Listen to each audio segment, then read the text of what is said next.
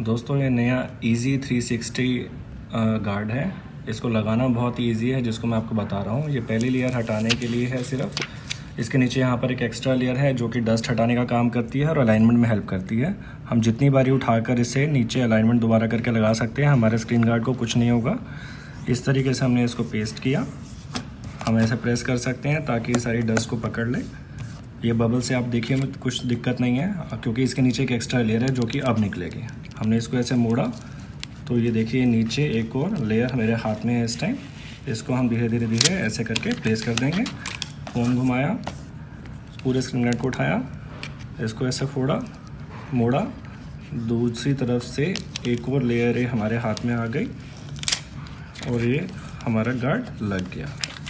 ऊपर से ये लेयर हटाई 360 की इजी 360 फाइनल लेयर और हमारा स्क्रीन गार्ड लग चुका है। बहुत ही बढ़िया तरीके से बहुत ही इजी मेथड से कंप्लीट